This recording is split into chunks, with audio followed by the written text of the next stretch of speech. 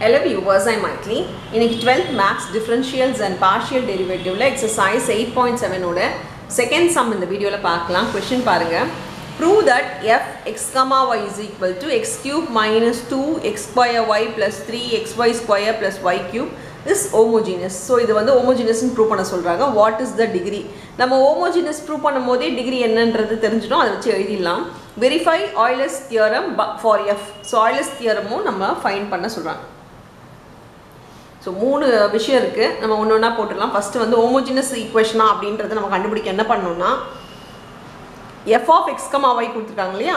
நம்ம f of lambda x comma lambda ஒயின்றதை போடணும் எக்ஸுக்கு பதிலாக லேம்டா எக்ஸும் ஒய்க்கு பதிலாக லேம்டா ஒய் போட்டோம்னா லேம்டா காமனாக எடுக்க முடிஞ்சிட்டு திரும்பி கொஷினே வந்துருச்சுன்னா திரும்பி எஃப் ஆஃப் எக்ஸ் கமா ஒய்யே வந்துச்சுன்னா இது ஒரு ஹோமோஜினஸ் ஈக்குவேஷன் இப்போ பாருங்கள் நான் எக்ஸுக்கு பதிலாக லேம்டா எக்ஸ்ன்னு போடுறேன்.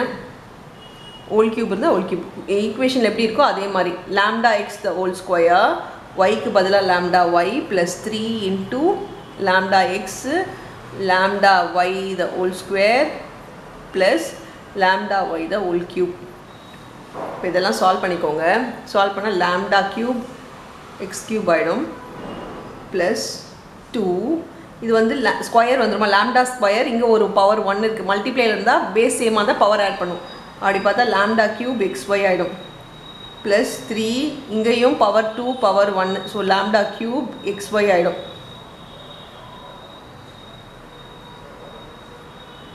இது எக்ஸுக்கு ஸ்கொயர் வரும் ஒய் அப்படியே வரும். இங்கே ஒய்க்கு ஸ்கொயர் வரும் எக்ஸ் அப்படியே வரும். Plus lambda cube y cube இப்போ எல்லா இடத்துலையும் லேம்டா கியூப் இருக்கா? இங்கே ஒரு lambda cube lambda cube lambda cube lambda cube அப்போ நம்ம என்ன பண்ணலாம்? லேம்டா க்யூபை காமனாக எடுக்கலாம். லேம்டா க்யூபை காமனாக எடுத்தால் உள்ளே பார்த்தீங்கன்னா x cube plus two x square y sorry two இல்லை மைனஸ் இங்கே மைனஸ் சைன் தான் இருக்குது minus two x square y plus three x y square plus y க்யூப்னு வந்துடுச்சு இது பார்த்திங்கன்னா நம்மளுடைய f of x comma y அதாவது எஃப் எஃப்னே வச்சுக்கலாம். எக்ஸ் கமா ஒய் போடணுன்ற அவசியம் இல்லை.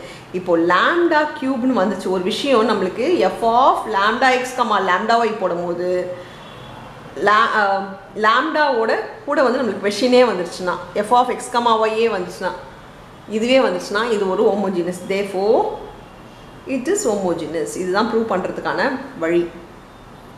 நம்மளுக்கு லேம்டா இன்ட்டு கொஷின் வந்துடணும். டிகிரி எப்படி கண்டுபிடிக்கிறதுனா லேம்டாவோட பவர் தான் degree therefore degree is equal to three so degree த்ரீன்றது நம்மளுக்கு வந்துருச்சு. இது எப்படி ப்ரூவ் பண்ணுறது ரெண்டு விஷயம் நம்ம கண்டுபிடிச்சோம். ஒன்று ஹோமோஜினஸ்னாலும் ஃபைன் பண்ணிட்டோம். டிகிரியும் ஃபைன் பண்ணிட்டோம். வெரிஃபை ஆயிலஸ் தியரம் ஃபார் எஃப்னு கொடுத்துருக்காங்க. ஆயிலஸ் தியரம் ஃபார் எஃப்னா x into to f கொடுத்துருந்தாலும் do f by do x plus y into எத்தனை வேரியபிள் இருக்கோ அத்தனை variable y into do f by do y is equal to degree into f எவ்வளோ degree இருக்கோ அந்த degree into f இது வந்து நம்ம போடும்போது த்ரீ இன்ட்டு நம்மளுக்கு கொஷின் வந்துருச்சுன்னா த்ரீ இன்ட்டு எஃப்ன்றது நம்மளோட கொஷின் கொஷினே வந்துருச்சுன்னா அப்போ வந்து இது நம்ம ப்ரூவ் பண்ணிட்டோம் அப்படின்னு அர்த்தம். இது கண்டிப்பாக ஹோமோஜினஸ் வந்தால் இது ப்ரூவ் ஆயே ஆகணும். இது கரெக்டு அப்படின்ற மாதிரி வந்துடும் இப்போ பாருங்க do f by do x இல்லையா? கொடுத்துருக்க இதை வந்து நம்ம வந்து டிஃப்ரென்ஷியேட் பண்ணோம் so do f by do x நம்ம ஃபைன் பண்ணலாம் இதை. அதுக்கு நம்ம கொஷின் வேணும். இதுதான் நம்மளுடைய கொஷின் இங்கே இருக்குது மேலே உங்களுக்கு தெரியலன்றதுனால நம்ம இது இதுதான் நம்மளோட எஃப் ஆஃப் எக்ஸ் கமா ஒய்னு எடுத்தோம்ல ஸோ இதுதான் கொஷின் இது வந்து வித் ரெஸ்பெக்ட் டு நம்ம எக்ஸ் டிஃப்ரென்ஷியேட் பண்ண போகிறோம் x with expect with respect to x பண்ணும்போது கூட வேறு வேரியபிள் இருந்தால் அதை ஒரு நம்பர் மாதிரி நம்ம ட்ரீட் பண்ணணும்.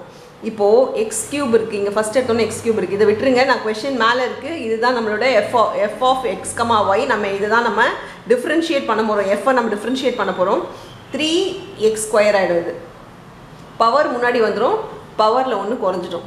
ஸோ டிஃப்ரென்ஷியேஷன்றது பவர் முன்னாடி வந்துடும் பவரில் ஒன்று குறைஞ்சிடும். எக்ஸ் பவர் எனக்கு ப்ள மைனஸ் மற்றதெல்லாம் அப்படியே எழுதிக்கோங்க. டூ ஒய் அப்படியே எழுதிக்கோங்க. எக்ஸ் ஸ்கொயரோட டிஃப்ரென்ஷியேட் பார்த்தீங்கன்னா பவர் முன்னாடி வந்துடும் பவரில் ஒன்று ரெடியூஸ் ஆகிடும் இங்கே ப்ளஸ் த்ரீ ஒய் ஸ்கொயர் அப்படியே எழுதிக்கோங்க. எக்ஸோட டிஃப்ரென்ஷியேஷன் ஒன்று இன்ட்டு ஒன் அது எழுதணுன்ற அவசியம் இல்லை. எழுதினாலும் தப்பு இல்லை இப்போ இங்கே ஒய் கியூப்னு இருக்குது ஒய் கியூப் கூட எக்ஸே கிடையாது. அப்போ இது ஒரு கான்ஸ்டன்ட் டேர்ம் மாதிரி நம்பர் இருந்துச்சுன்னா இது ஒரு கான்ஸ்டன்ட் டேர்ம் மாதிரி நம்ம பார்ப்போம் இல்லையா? அந்த மாதிரி இது ஒரு கான்ஸ்டன்ட் டேர்ம்ன்ற மாதிரி எடுத்துக்கிட்டோன்னா ஜீரோ ஆகிடும் கான்ஸ்டன்ட் டேர்மோட டிஃப்ரென்ஷியேஷன் நம்மளுக்கு ஜீரோ இப்போது டோ எஃப் பை டோ ஒய்யும் பார்த்துக்கலாம்.